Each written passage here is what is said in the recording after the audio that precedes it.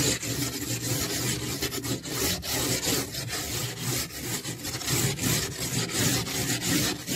Erzurum'da sabah saatlerinde termometreler eksi 18 dereceye kadar düştü. Erzurum havası sise büründü, ağaçlar kıra ile kaplandı. Yoğun ve etkili kar yağışı sonrası düşen sıcaklıklar yaşamı da olumsuz şekilde etkiliyor. Sabah saatlerinde araçlarını çalıştırmak isteyen vatandaşlar donan camlarını açmak ve araçlarını hareket ettirmek için epey gayret çaba gösterdi.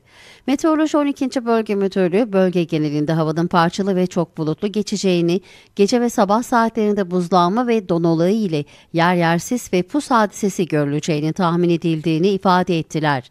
Meteorolojinin 5 günlük hava tahmininde Erzurum ve ilçeleri için kar yağışı görünmüyor.